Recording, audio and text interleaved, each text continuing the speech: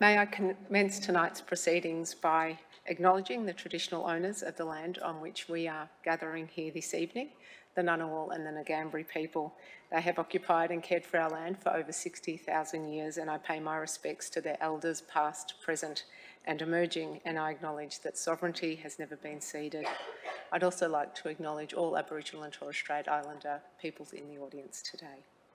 Uh, welcome and benvenuti to the iconic Shine Dome. My name is Anna Maria Arabia. I have the great privilege of being the Chief Executive here at the Australian Academy of Science and a very happy National Science Week to you all. A very warm welcome to our special guest, Meganne Christian, who is a member of the European Space Agency Astronaut Reserve. We are absolutely thrilled that you can be with us this evening. I don't know if this place feels or looks a little bit like a spaceship, but um, it's also my great pleasure uh, to welcome all of our distinguished guests here this evening, including His, His Excellency Mr. Paolo Crudele, the Ambassador of Italy to Australia. It is always wonderful to see you and to have you at our place and Dr. Marco Lazzarino, the Scientific Attaché at the Italian Embassy. And of course to all of our distinguished guests, Fellows of the Australian Academy of Science, members of the diplomatic community, um, and representatives from government, academia, um, and the science sector more broadly. A very, very warm welcome to the Shine Dome to this very wonderful lecture this evening. I know this event has been much anticipated, and I'm very much looking forward to hearing about um, Meganne's journey and looking at the numbers here tonight. Thank you all for coming out in such great numbers. Uh, so Meganne grew up in Australia and studied here, and a little bit like the Matildas, she's an Aussie, just training abroad. Um, uh, but tonight we're going to claim you as one of ours, even though you share citizenship with the US, Italy and New Zealand. And looking at all of your national allegiances, it seems there's only really one team left for you to back, if you don't count England. So we know who you'll be backing tomorrow night. Um, may I ex extend my very special thanks to the University of New South Wales, the Centre for Ideas, the Powerhouse Museum and the Italian Embassy, without which we wouldn't be here this evening. So before we hear from Meganne, uh, please join me in welcoming to the podium His Excellency Mr. Paolo Crudele, the Ambassador of Italy, to say a few words. Thank you.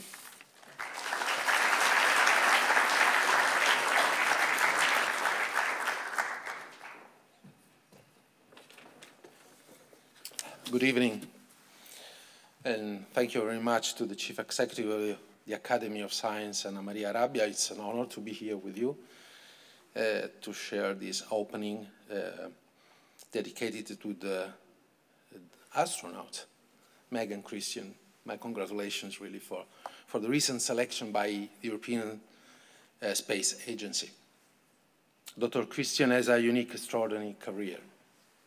Just to mention a few passages which I would love to understand, but I can't. After completing her PhD in industrial chemistry at the University of South Wales in Sydney, she successfully worked on the development of innovative nanomaterials. She took part in two parabolic flights campaigns experiencing weightlessness. She took part in two Antarctic scientific expeditions, including one during the winter night on the Antarctic plateau. And she applied to become an astronaut and was successfully selected. What makes me and what makes us particularly proud is that Megan has chosen to base her professional career in Italy. This evening's event is also intended to highlight this special relationship between Italy and Australia. The cooperation between the two space agencies is solid, as evidenced by the Memorandum of Understanding signed in Adelaide in 2020. This morning we were at the Stromlo Observatory and I want to thank the director Trifoni for hosting us.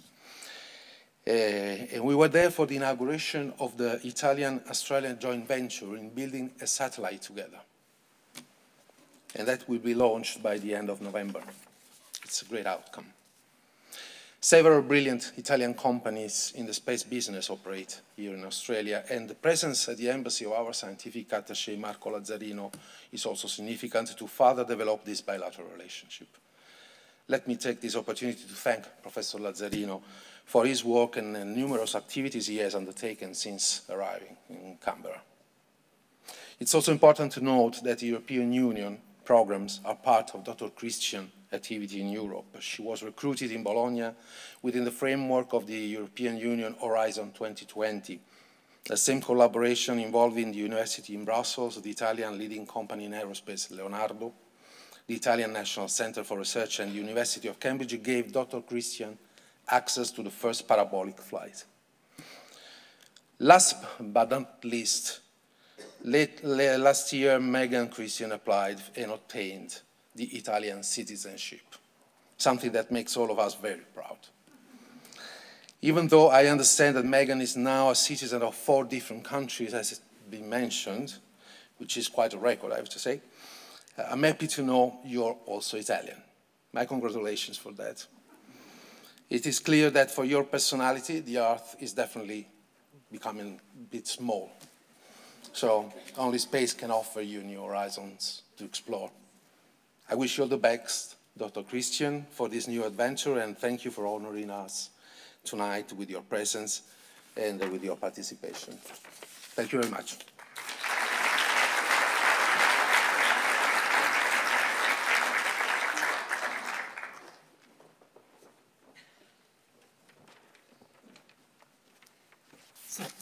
Good evening, everybody.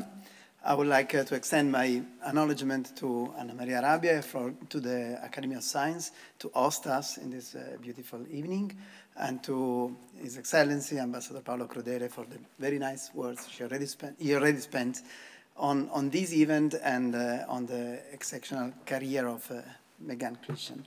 I'm here, and I would like just to spend a few minutes to explain why we are very proud of the decision of uh, Meganne to uh, build up her career in Italy and explain that uh, and show you a few figures uh, of uh, the Italian research and Italian science because very often we, we imagine Italy as a beautiful land for uh, architecture, for historical heritage, for food, for nice beaches and mountains, but actually in Italy there is also a very strong uh, commitment to science uh, and to research. So I would like just to show you a couple of examples of what we are able to do in Italy. So, so Italy School, also for science. This is the, the message I would like to, to pass to you very, very shortly in these next uh, five minutes. So first of all, Italy has been in science in the history, in the centuries and in millennia behind us. So we can start with the, the fact that the first, the first university and the oldest university in continuous operation in the world is in Italy. And it's actually the University of Bologna that in 50 years will celebrate our first thousand years of activity. And it's not a coincidence, or maybe it is a coincidence, I don't know, that Meganne was working for 12 years in Bologna. But at the beginning, the University of Bologna was more dedicated to law studies, to humanistic studies. Actually, at that time, there was no distinct, distinction between science and philosophy and, and knowledge in general. The distinction between science and philosophy came from one of the most famous scientists, but also one of the most famous philosophers of Italy, which is Galileo Galilei, which has been credited to discover the satellites of Jupiter, invent the the telescope, but also to introduce the scientific method, which makes the difference between science and philosophy. The scientific method is that method that allows you to develop a theory by describing and creating a theory and then to verify the theory and then falsify the theory. So see if the theory really applies to all the observation you do. So this is something that we really owe to the Galileo Galilei and to the philosophy that was developed at that time in Italy. And then we, along the centuries, we, we went on and we had other very famous scientists. There's a picture, a painter of Alessandro Volta, who was the father of the electric battery, which is very important nowadays. You can think that we are moving all our energy to electricity and we need something to store electricity, and these are batteries that was invented by Alessandro Volta. In this picture, Alessandro Volta is explaining the battery to Napoleon, Napoleone Bonaparte.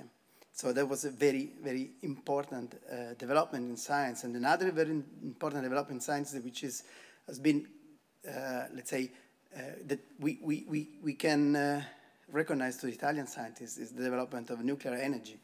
I know that sometimes nuclear energy is not, it's quite controversial, nobody likes it, but it's something that, uh, in, a sense, can uh, uh, show how good we are in manipulating matter. We can control matter and we can really reproduce something which is happening in the stars. So going back to the stars and to our astronaut.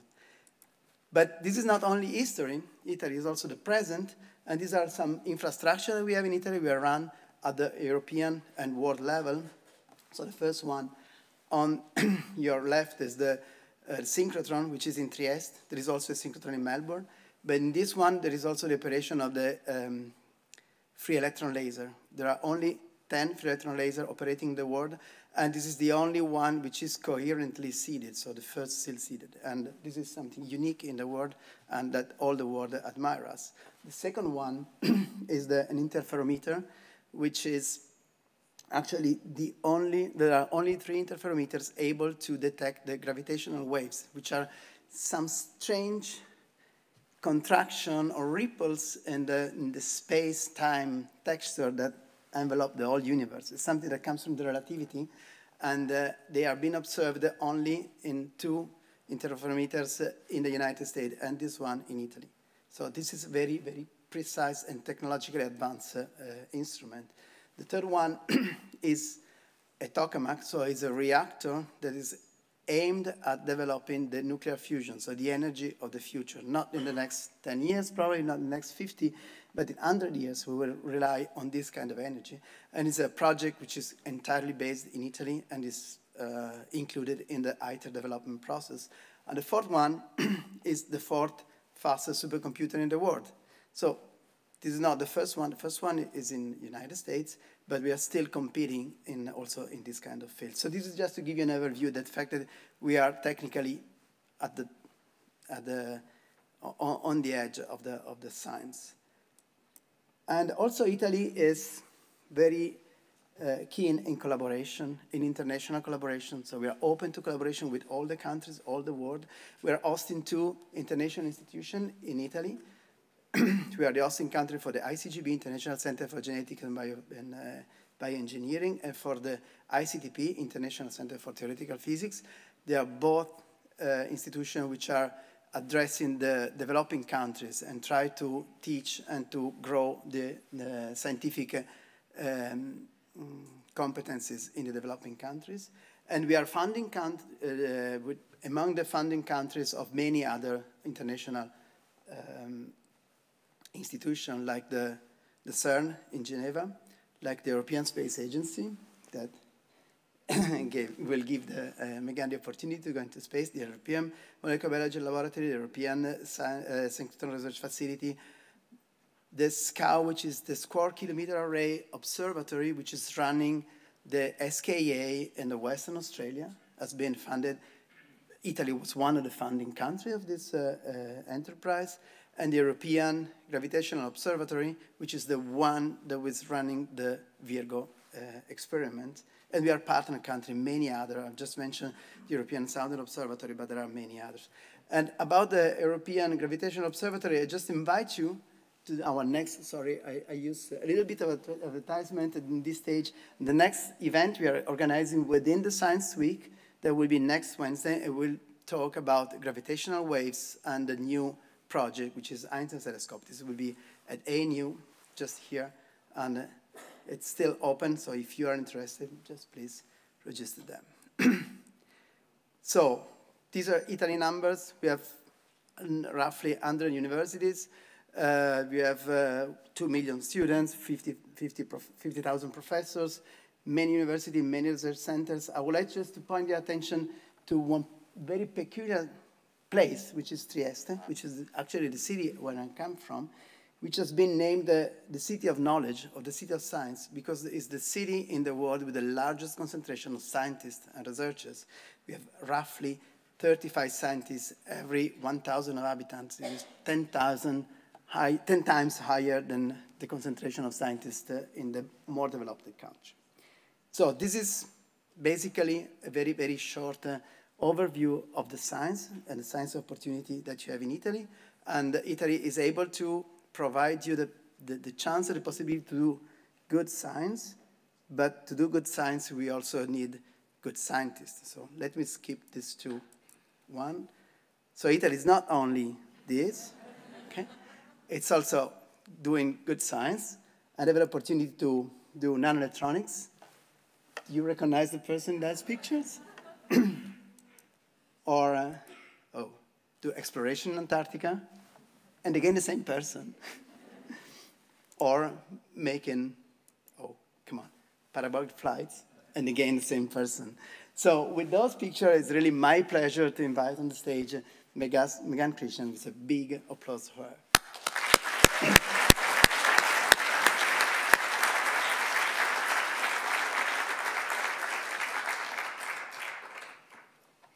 Don't know about you, but I just learned a new word, petaflop. I, I, didn't, I didn't know about that one, even though I was in Bologna where Leonardo is. Um, Grazie all'ambasciatore e all'addetto scientifico per l'invito, and thank you to the Australian Academy of Sciences for, for hosting this event in, in the Shine Dome. Uh, it's a real pleasure to, to talk to you, and this is my first big event on the, this kind of whirlwind tour that I'm doing in, the, in Australia, which is just, you know, Canberra and Sydney at the moment. But uh, yeah, I'm, I'm very, very pleased to be able to talk to you. So, I'm going to talk to you about basically my career, let's say, which hasn't been what you would call a traditional one. It's gone off in some tangents along the way. So I'm going to introduce you to some of the things that I've done. If it will go ahead.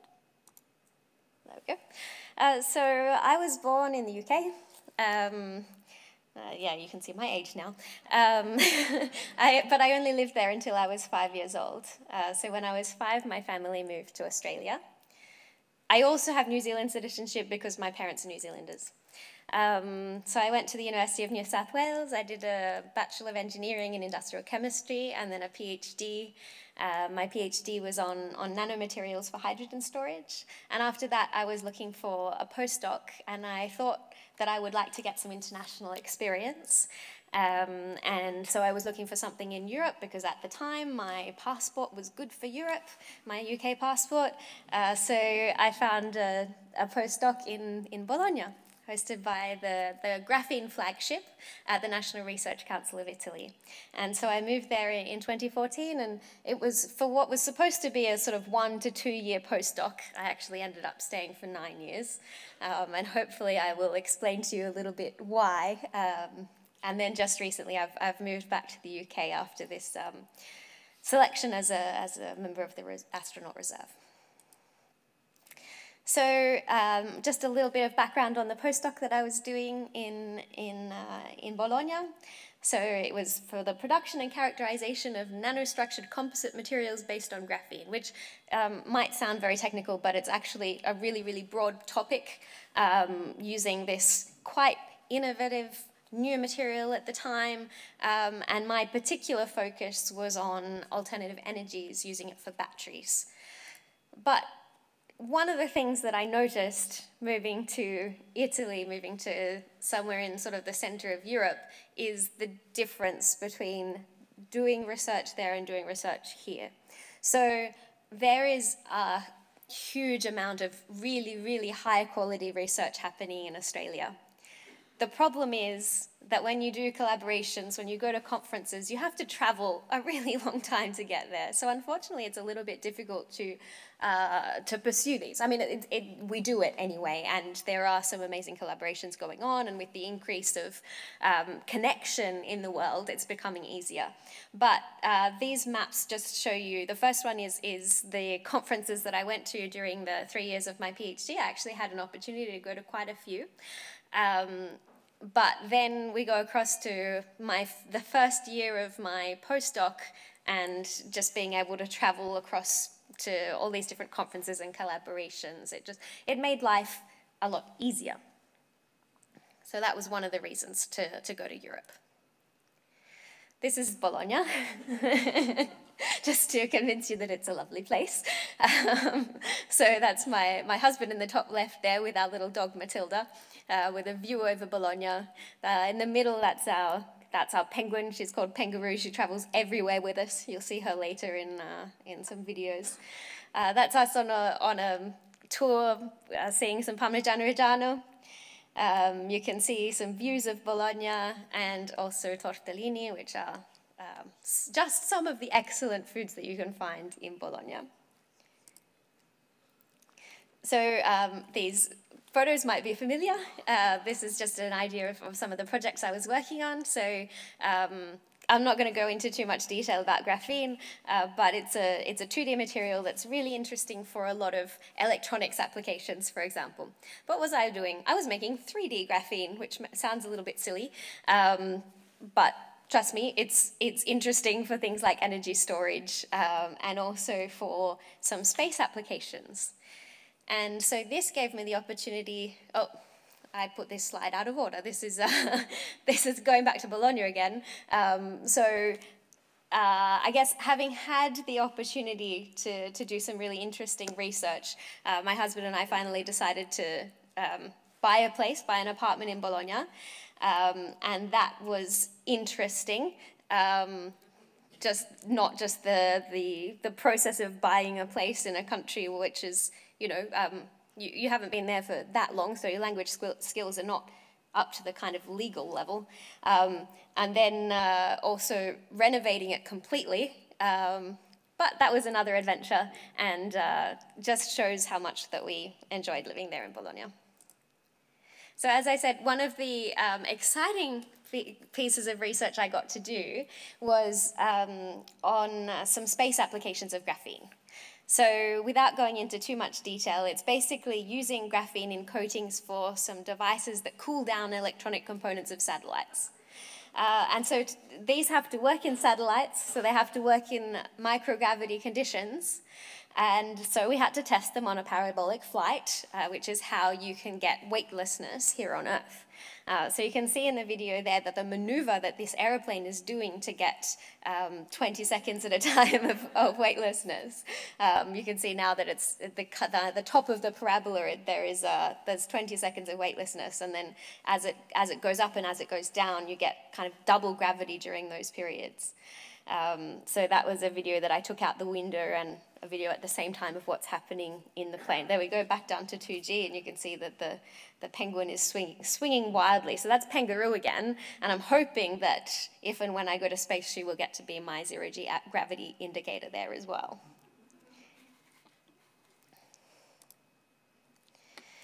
So why did I change from doing this material science research to then going off and doing this crazy adventure in Antarctica?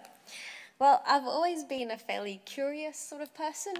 So um, when I was probably about 10 or 12 years old, I went to the International Antarctic Centre in New Zealand, in Christchurch, and I was absolutely fascinated by it. Um, it was, yeah, just really, really interesting, and I thought, okay, one day I'd like to go to Antarctica.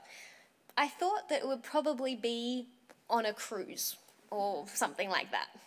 Um, but watch this space. I also enjoy a challenge. Um, and I guess that's why I did a PhD and I worked on worked in research because it's definitely challenging. It's definitely challenging to come up with new ideas for new materials and work out, you know, what answer, what question you want to answer and how to get to that answer. So I guess that's a lot of the reason why I decided to do science and engineering and research in particular. And I also love adventure. Um, my family's thing is uh, doing whitewater rafting together. Uh, so I've done a lot of that over the years, and I just like the outdoors, basically. Um, one of my favorite pastimes is doing via ferratas, which are kind, a kind of protected climbing route in the Alps in Europe. Um, you, are wearing a, a, harness with two carabiners, and you sort of clip yourself along on the side of a, a cliff face. Um, where there's a there's a wire along the way. And, and I sort of think of that as the closest thing we have on earth to a spacewalk because basically they're wearing two carabiners as well and they're hooking themselves along the side of the space station. So uh, you know that's the world's highest via ferrata. So because of this love of well this curiosity this love of challenging myself in this love of adventure, I decided to go to a place which has a lot of records to its name, which is Antarctica. It's the most isolated, the coldest, the most arid. Antarctica is actually a desert. So uh, there's a lot of water there, but it's all ice. It has the highest average height above sea level, which might be surprising. Um, I didn't know before, before I learned more about it that actually there are mountains and volcanoes in Antarctica. And uh, the average height is something like about 2,000 meters um, because there's a very, very large plateau. And in fact, the station where I went is on that plateau. It has the highest wind speed, fortunately not where I went, but on the coast it has extremely high wind speeds. And at the same time as being a desert, it has the largest freshwater reserve on the planet. Depending on you, how you count it, it's something like 70% of the world's fresh water. So this is the logo of my, uh, my team, the DC-15, which is the 15th uh, winter over crew at, at, at Concordia, which was in 2019. First of all, we had to go through training. Um, and we did training together with the scientists who went to Mario Zucchelli station, which is on the coast. So we also had to learn how to jump out of boats into really cold water and be rescued from them, which is why I'm looking very orange there in that suit, which wasn't exactly um, working as well as it should be. It was definitely letting water in. In Antarctica, they don't do that, thankfully. We had to do a lot of uh, firefighting training because one fire is one of the biggest risks there at Concordia Station because it's it's actually on three kilometers, more than three kilometers of ice, and so there's no way of actually getting to the ground. Um, so grounding any el electric equipment. Uh, so that means that a lot of st static electricity builds up, and this static can then, uh, you know, you can you can get a spark, and that'll cause a fire. So we had to be very, very careful and we also had to learn how to be firefighters. We also had some training on sort of adapting ourselves to the conditions. So we spent a week um, camping on the glacier of Mont Blanc. Um, we only got down to minus 10 degrees there, so it wasn't really much conditioning, but you know, we got a, a taste of extreme conditions. And then finally, just with the Winter Over crew, which is this, this group of 13 people here, uh, we had another, another week together doing some sort of team building activities because we were going to be stuck together for nine months of that year that we were there, completely isolated, so we had to get along well.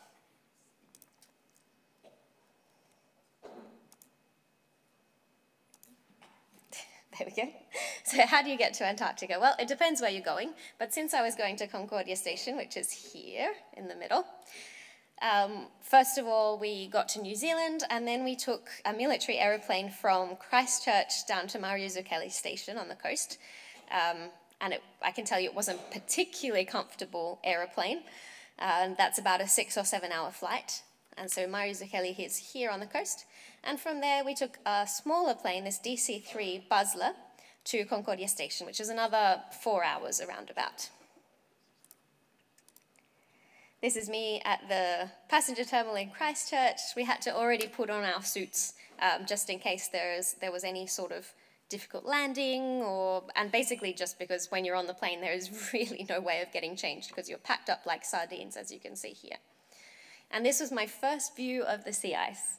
On the C-130 aeroplane, there's just this tiny little window that we all sort of took turns looking through, uh, and I managed to snap this photo out the window. Actually, the second time I went to Antarctica, I got to go on a more normal aeroplane. It was just a normal Airbus. Um, and so I had my own window and I could watch out the window, and that was just spectacular. But this was my very first view of the sea ice in Antarctica. Then this was my arrival at Mario Zucchelli station, uh, which might be surprising. You might think that it should be just snow and ice everywhere, but actually Antarctica is a continent, so underneath all that snow there is land. And during the summer months, that, that land is exposed. You don't necessarily uh, see it covered in snow and ice. Whereas at Concordia, um, which is at an altitude of 3,233 meters, it's definitely all ice. And this was the, the view from my, from my window. So why did they choose that location? Well, first of all, it's a, uh, it has this really thick ice shelf, which makes it interesting for uh, glaciology experiments, and I'll go, in, go into more detail on one of those in a moment. The high altitude and the atmospheric conditions mean that it's an excellent place to do astronomy and astrophysics. Uh, it's inside the polar vortex, which means you can do observations of the ozone layer. It's a long way from any other Antarctic bases. So the closest Antarctic base is Vostok, uh, which is about 600, 700 kilometers away. So the nearest people to us are, are that far away. Um, and it's also far from the coast, so you don't get any perturbations from the sea. So that means that it's really good for any kind of earth science observations. And then there's the last one, which I'll go into a bit more detail later. But the isolated conditions and the fact that it's such a hostile environment mean that it's really interesting for the study of human behavior, um, quite similar to a space mission. So uh, Concordia is also known as White Mars.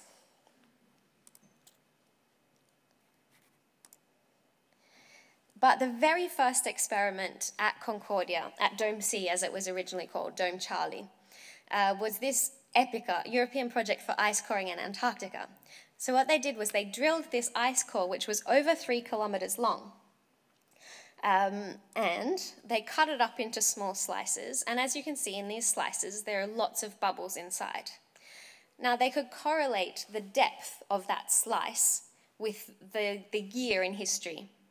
So in this way, they could work out what the atmospheric composition was back over the last 800,000 years.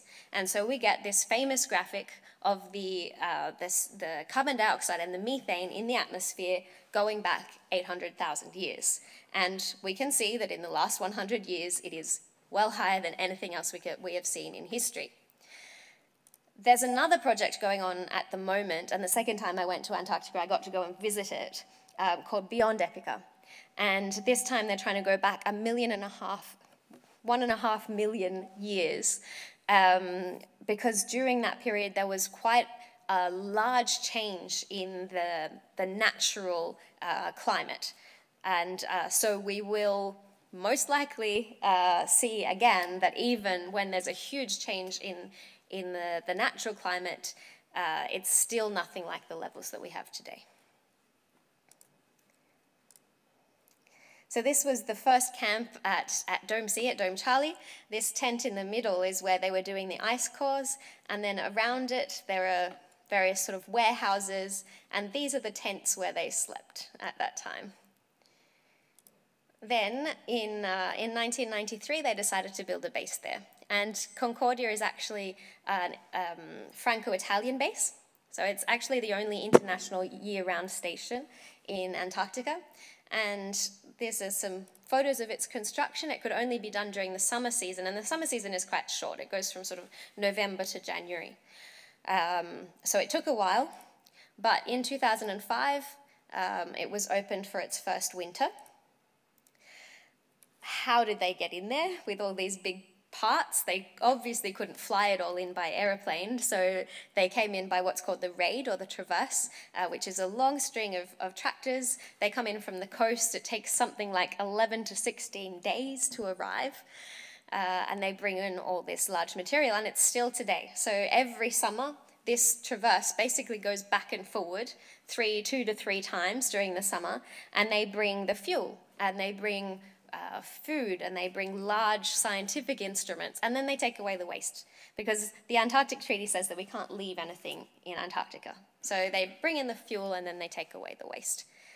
It's a very, very slow journey. It's about 1,600 kilometers, but it takes them up to 16 days.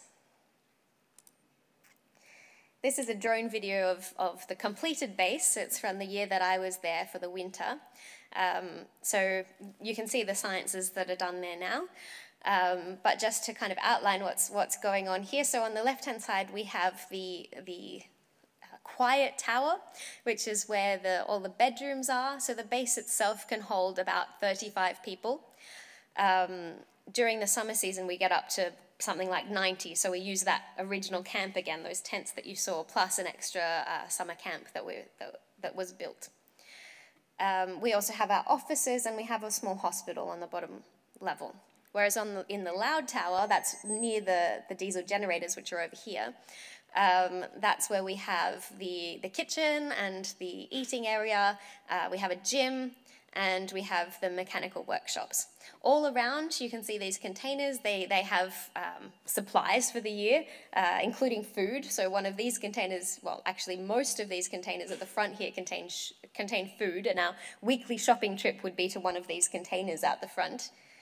Uh, and then behind the base here, you can see the laboratories. So they're sort of anywhere from 500 meters away to about a kilometer away.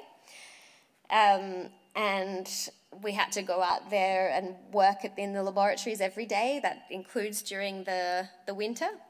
Uh, but these laboratories are for things like uh, physics, chemistry, uh, geomagnetism, uh, and over here we have a tower with some, some meteorological instruments on it, and that's about a kilometre from the base.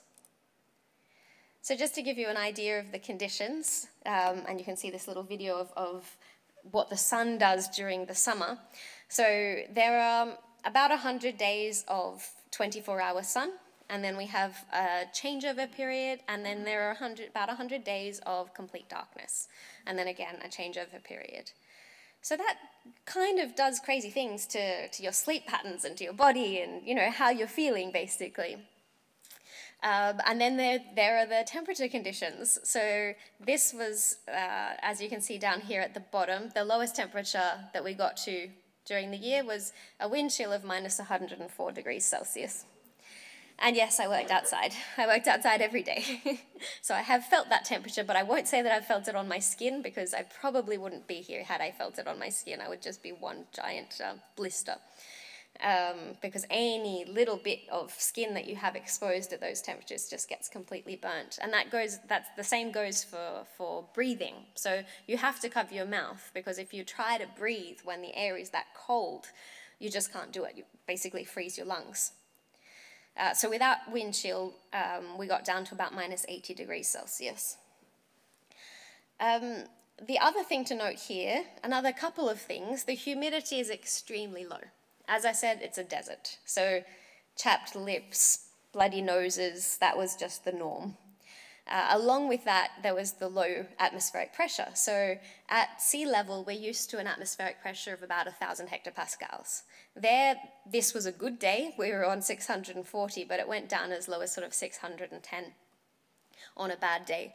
And so that means that we're getting about 60% of the oxygen that we're used to getting, which means that as you saw, the base is on three levels and there's no elevator in there. So going up and down those stairs was tiring.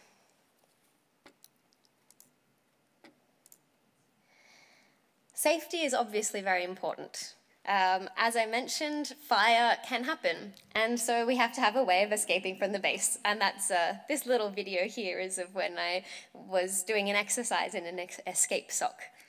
Unfortunately, these don't work during winter, so during winter you kind of have to just work out how you can get out without hitting the fire. Oh, I'm going again.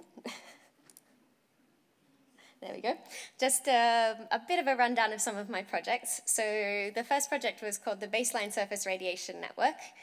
Um, so these are some radiometers which are basically studying the energy balances, so the, the solar radiation that comes in and the solar radiation that's reflected.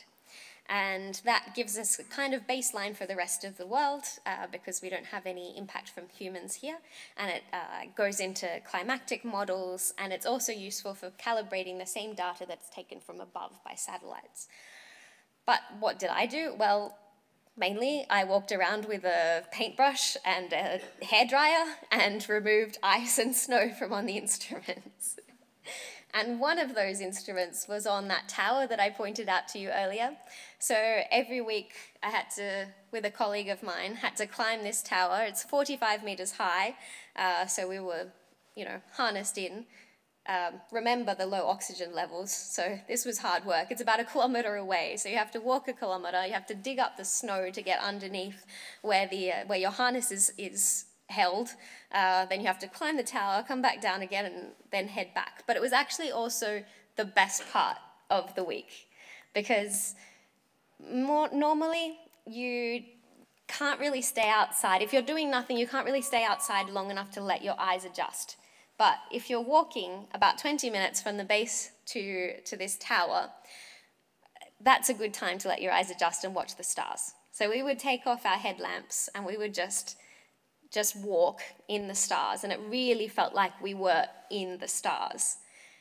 To give you an idea, it, if it was a moonless day, because you know it's actually the day, um, we would actually see our shadow in the light of the Milky Way.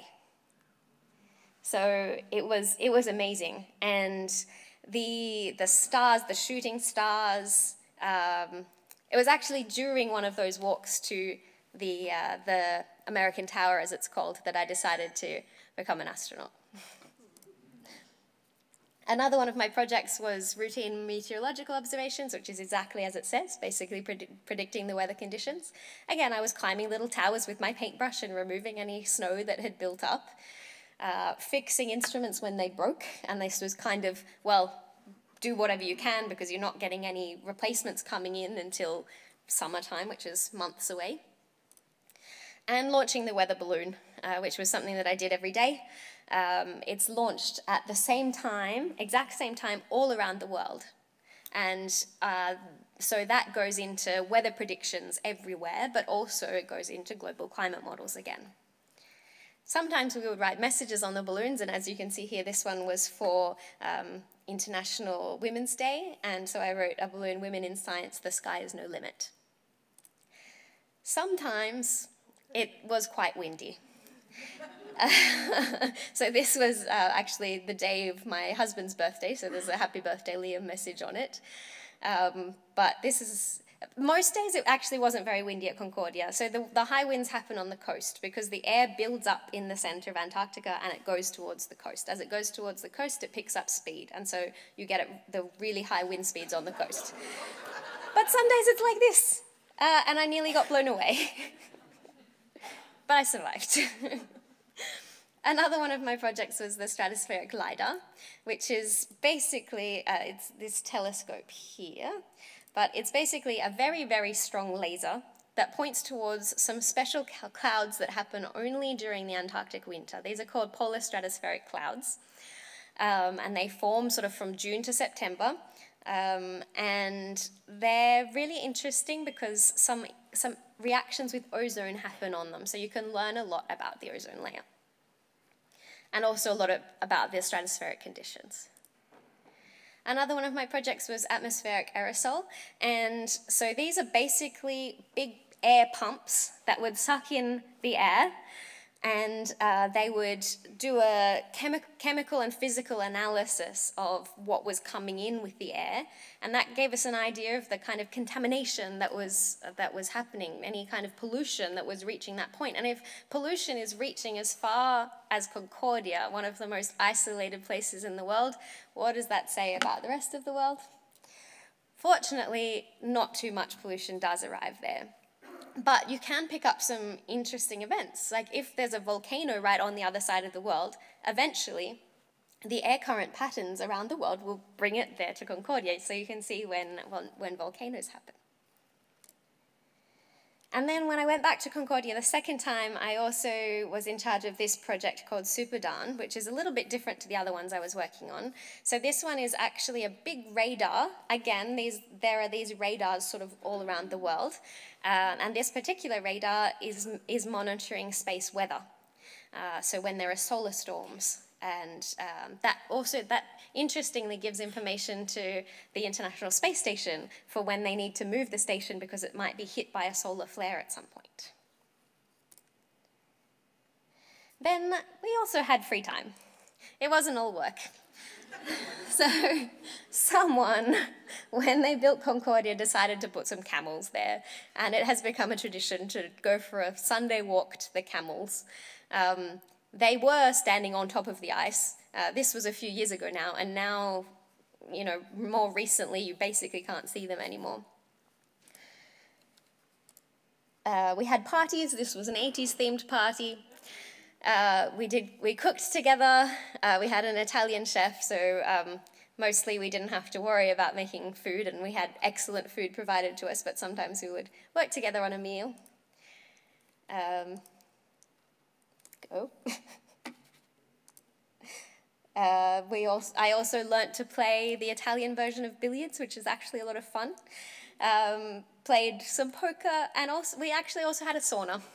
So, so um, the sauna is outside the base. You have to go outside to get to the sauna. Um, and then, of course, when you get too hot, you go outside in the snow.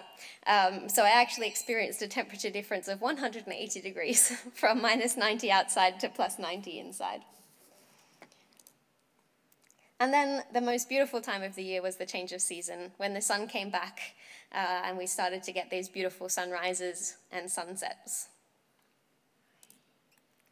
We did a lot of outreach activities. So um, we were in a, you know, a fairly privileged position there uh, to explain the kind of research that's done into climate change. And so we felt it was our responsibility to talk about that to, to children. So we did about 70 or 80 video conferences with, uh, with schools and with public events. And it was actually really fun because it, it gave us that contact with the outside world because here we, were, here we were completely isolated, these just 13 people trying to get along well together. Fortunately, we mostly did. Um, but having that little bit of contact with the outside world and gave us an extra bit of motivation to keep going with our work. This was a, a video conference that we did with the International Space Station. And the interesting thing about that is that their internet connection is much better than ours.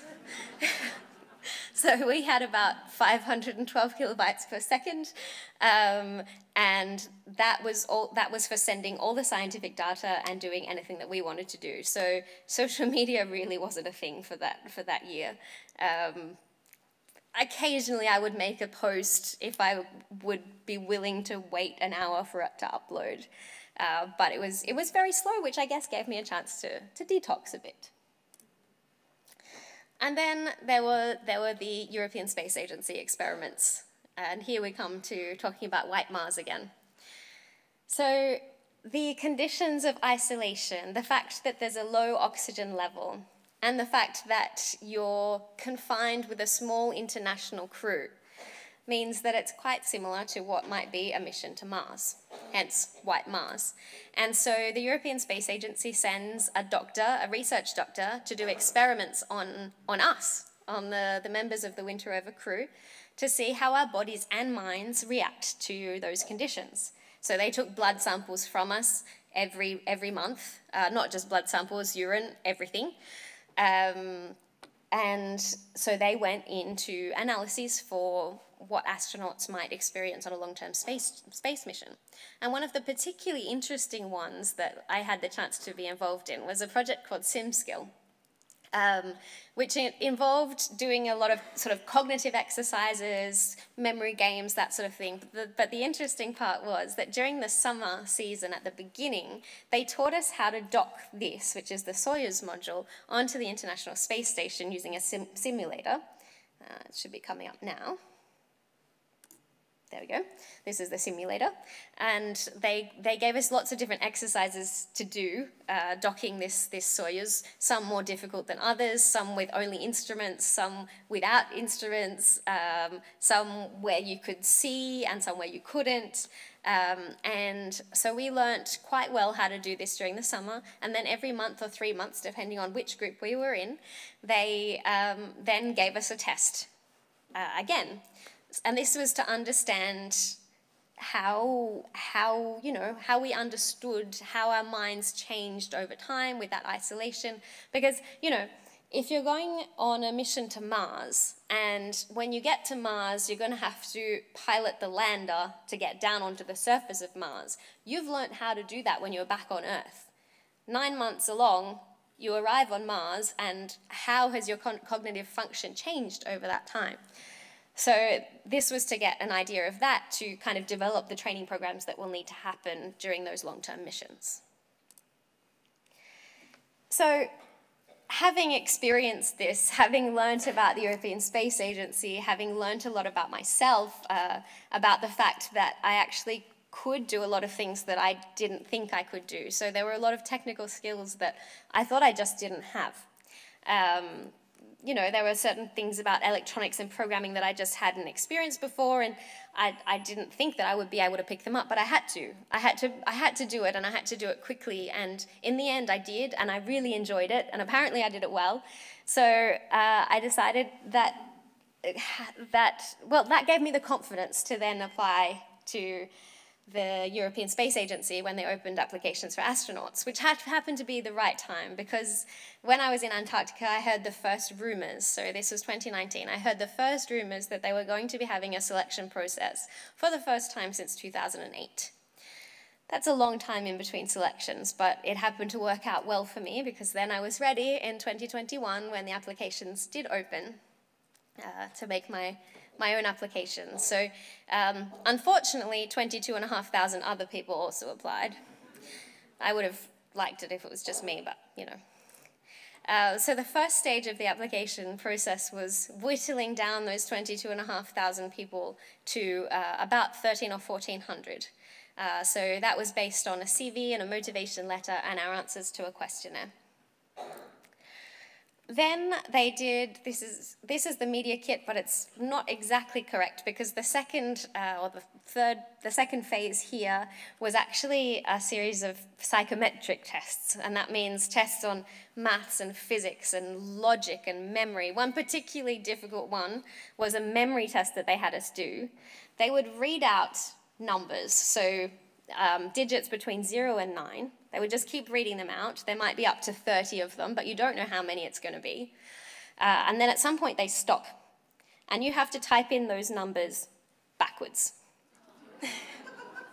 and the first time you make a mistake, you're gone. So if you make a mistake on, you know, the second number, then you only get one point. So when I was training for this, because they give, they send you the uh, some training materials about two weeks beforehand, I managed to get up to 17 numbers. I never thought that I would be able to do something like that. Then on the day I got there and they were read out so much more quickly uh, that I definitely didn't get 17 numbers, but obviously I got enough to get through. Uh, then from there, they took about 400 people through to the, the psychological round, which was in Cologne in Germany. Uh, and during that day, they had, we had a bunch of interviews with psychologists, one-on-one or in a group.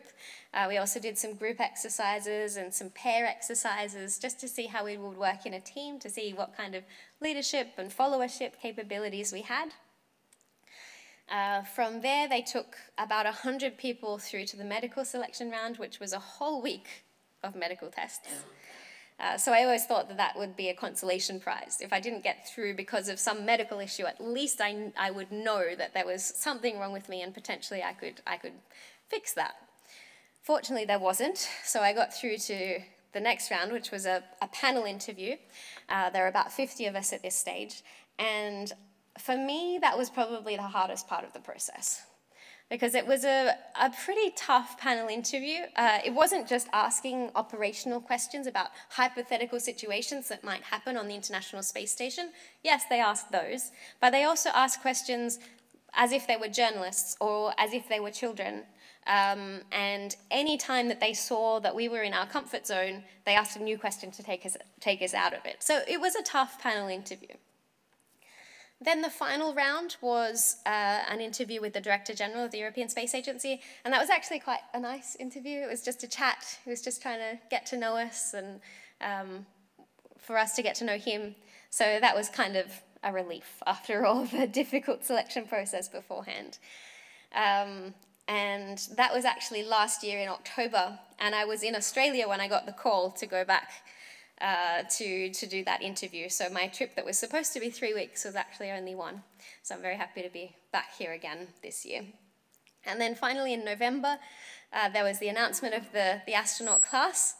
And I was extremely honored and a little bit surprised uh, to be in that class. So it was, it was when I was riding my bike home from work one day um, and I felt my watch vibrating, and I wasn't going to answer the call, but I looked down and I saw that it was a French number. And I thought, hmm, I better answer this one. And it was the Director General calling to invite me to the, the press conference for the announcement of the astronauts. At that point, we didn't know whether we would be career astronauts or reserve astronauts.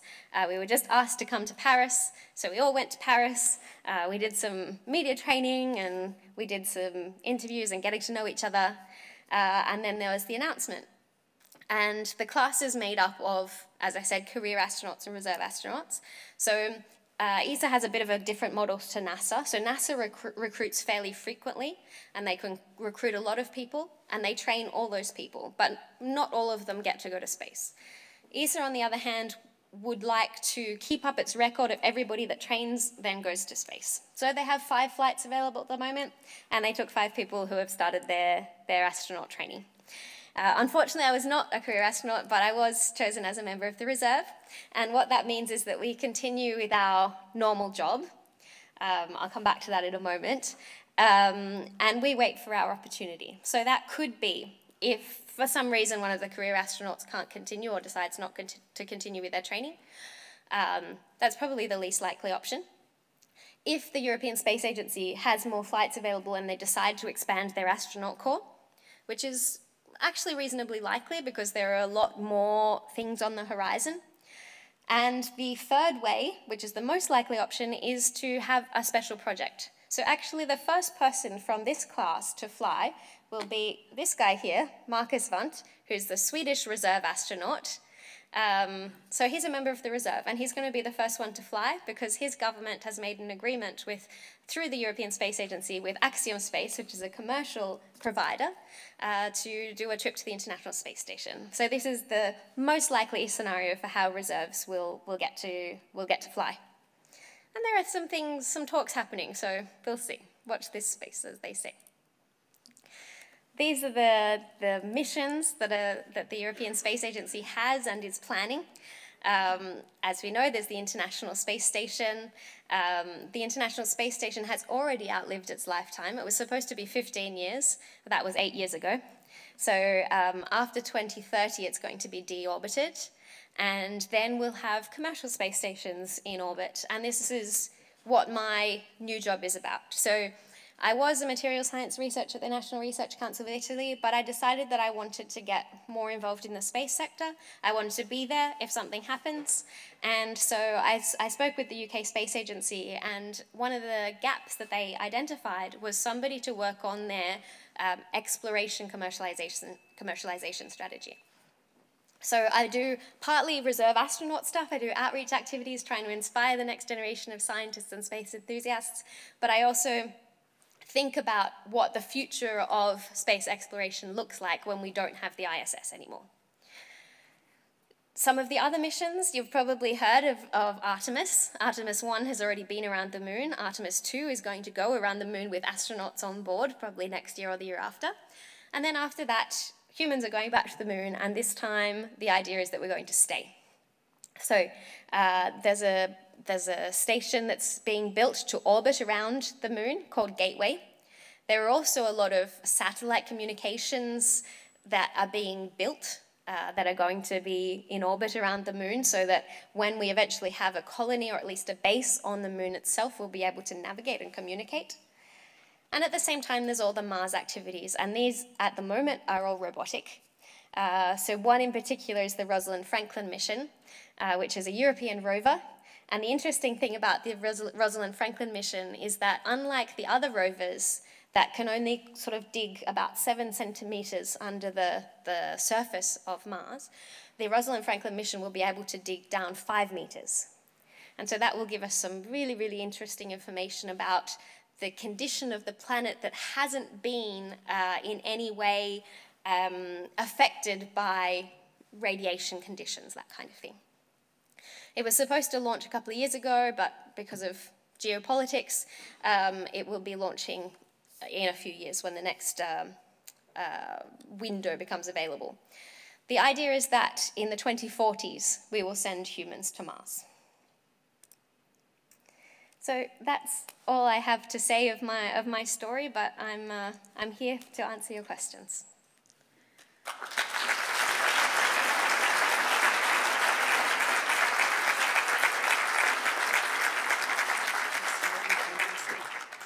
we extraordinary. Thank you so much for sharing your journey with us. Uh, we do have time for questions.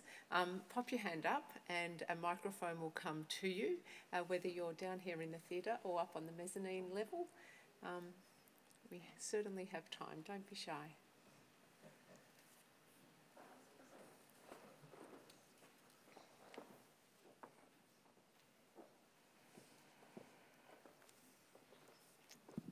I might start with one. How do you exercise? How did you exercise when you were in Antarctica? Well, there's actually a, a small gym in the base. So, to be honest, you get a lot of exercise just going outside. You go outside and you breathe and you're exercising, and you walk and you're exercising.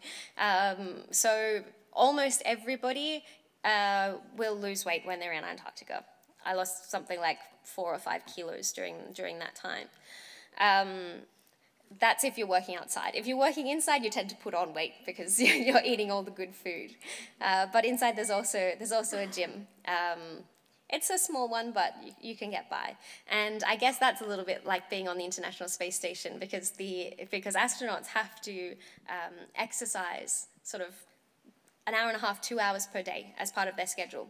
Because over time, they lose muscle mass and lose bone mass, basically because there's no gravity, so they're not working against anything.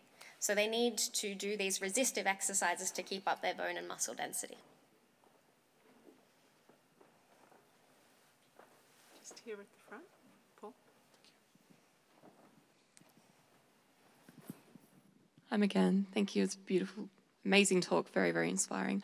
Um, just wondering, with the way that the job works, are you sort of a contracted for a period of years, or is it like a until you go to space, or is there like kind of a window where if you, then you don't go to space, you're not selected within a period of time, then that that's kind of missed your shot, kind of a thing? Or yeah, there, there are no guarantees. Yeah. Um, but the idea is that we, it, as long as we keep up our medical certification, and we have to do a medical every year, so my one's coming up in October. Um, as long as we keep that up, we continue to be part of the reserve. Um, and, and, that's until the next round of selections. Considering that the last round of selections, uh, there were 13 years in between, it could be a very long time. The aim is to have more frequent selections, so probably every six years. Um, but the advantage that we in the reserve have, if we haven't been assigned to a mission by then, which is quite possible, um, as I said, watch this space because there's interesting things happening. Um, then we get straight through to that final round, which is the interview with the Director General. So we get that advantage as well. If we're not selected at that point, then that's it.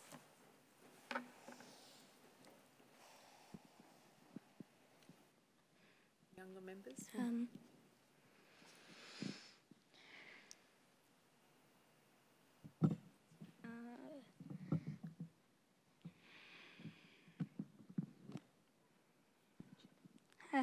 how did they figure out out that you just that how did they figure out that that you were that you how did they realize that you that you that you could go that you were able to be able that you could be trained to go to space? Yeah it was it was it was tough. I mean especially since they had so many people that applied um, it was really tough for them to decide who could go and so that's why they had to do all these different selections based on our on our cognitive abilities, based on so so how our mind works, but also um, on how we get along with other people. And I think one of the things that helped me was that I had had this experience in Antarctica. So I've, I had had an experience of working with an, a small isolated team of people. So I had demonstrated that I could do that. Uh, it can't be the only thing because there were there were other people that had been to Concordia and, and didn't even get through the first selection phase. So I think my scientific background also helped there. Um, problem solving, having that kind of um, way of thinking that makes you really a sort of well-rounded, adaptable sort of person. This one just here at the front and then upstairs. Thank you very much for that really fascinating view into how your career has led to you heading into the reserve class of the astronauts. I was wondering if you had any insight into the broader class of astronauts that have gone through ESA and whether or not your career trajectory is quite reflected in them, or are there multiple ways of getting to space? Yeah, there are really a lot of different ways. So it used to be all pilots. Um, if you wanted to go to space back in the Apollo era, you had to be a test pilot. That has slowly changed. Um, and they're kind of moving away from that, that pilot. I mean, still need pilots for sure, but most of the, the rockets these days pilot themselves. So they more often look for, for people with a scientific background or engineering or medicine. Um, and so we, we come from all those different disciplines. There are doctors, uh, there are biochemists, astronomers, uh, material scientists like me. Um, so it's quite a mix. What was your favourite part of training? My favorite, my favorite part of training, um, well, so far I've done training for Antarctica, and the firefighting training was a lot of fun. Um, but training upcoming, so the UK Space Agency is giving me the opportunity to do some, uh, to make my own pro training program so that I'm ready um, if and when that mission comes. And so I'm going to do some human centrifuge training. I'll probably do some more zero G flights. I'll do some advanced medical training, uh, some flying. So I'm looking forward to all of that.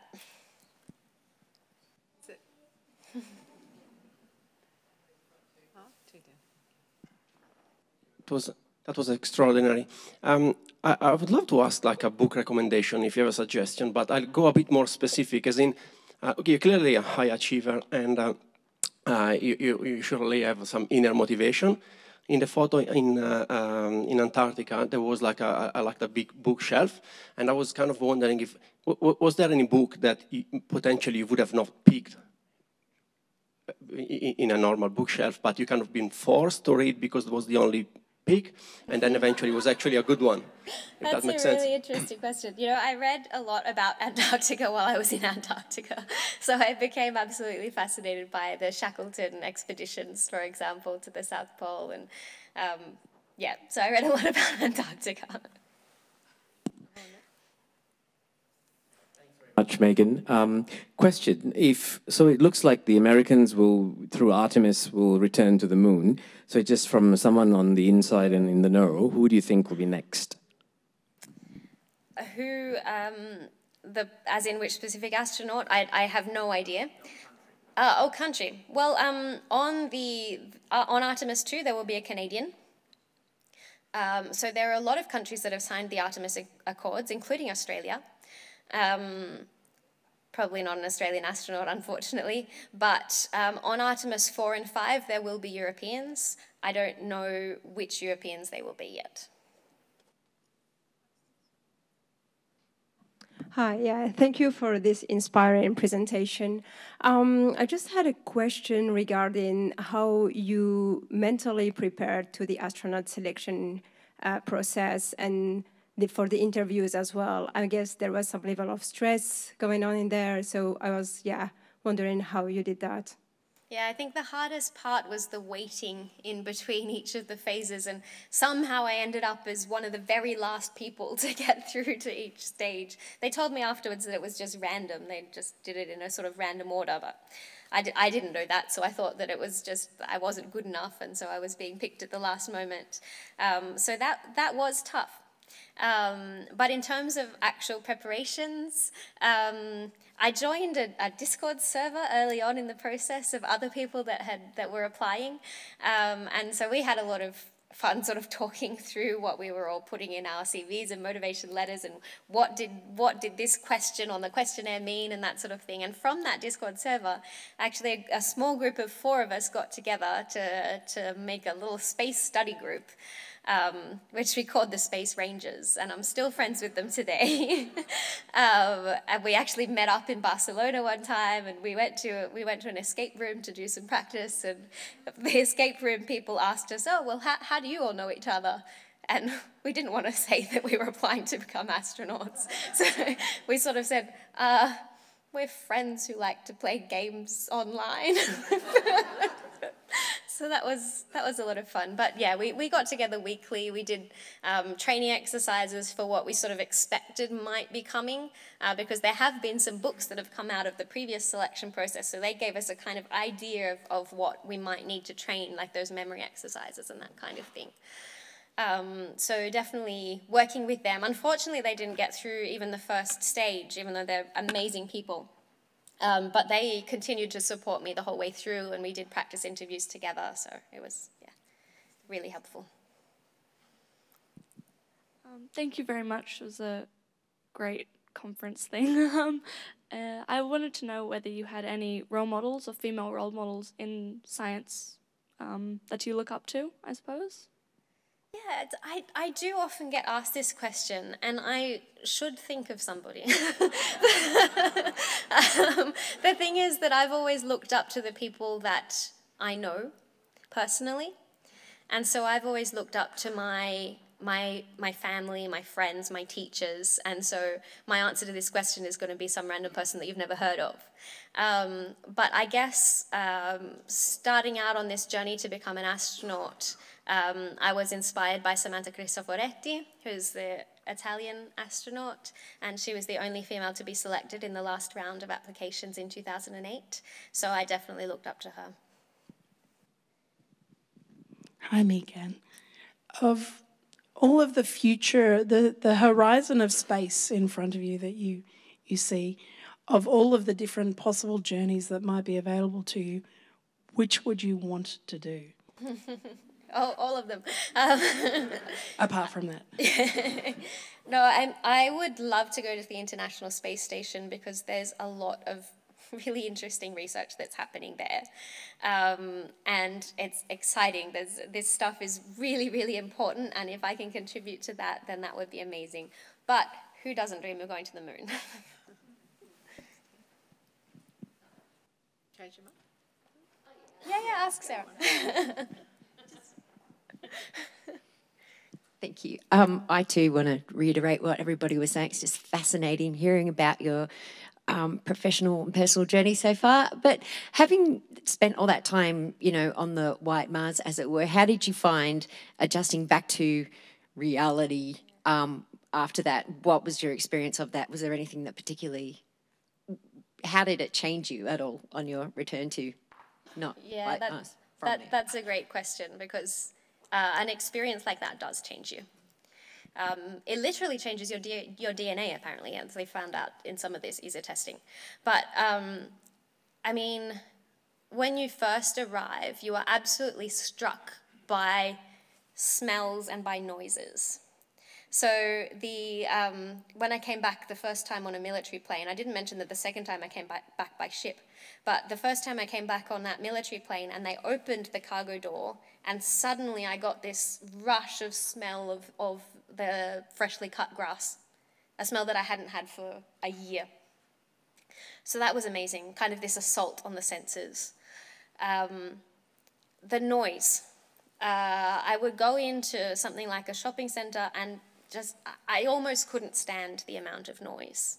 It took quite a while to adjust to that. It also took me time to adjust to thinking about sort of small, petty things. Because um, I just had what to me was a life changing experience, but other people hadn't gone through that experience. So they were talking about everyday matters. And it was hard for me to get back into that mind frame of caring about the traffic or this kind of thing. So it was definitely a difficult adaptation. Meganne, I'll take the last question. What would you say to young boys and girls who dream of becoming astronauts? Well, I would say follow that dream, um, but follow it by doing something you love because there are so many different ways of becoming an astronaut and they, they are only going to increase uh, as time goes by.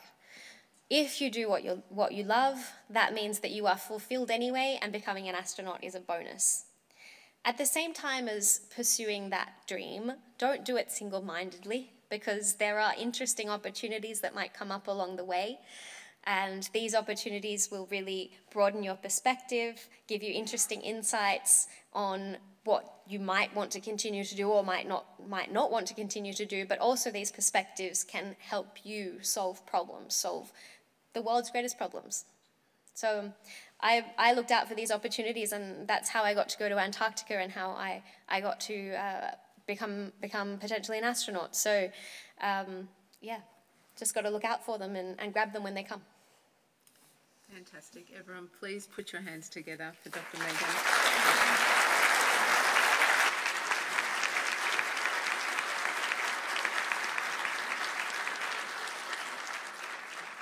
What an absolute treat. Thank you again, Meganne. Um, I'd like to close now and thank uh, those who have made this event possible, the University of New South Wales, the Centre of Ideas, Powerhouse, and of course the Italian Embassy in Australia. Um, they have also um, offered uh, the reception snacks and drinks outside, so they're sure to be tasty uh, for anyone who would like to join us um, uh, at the end of, of this evening.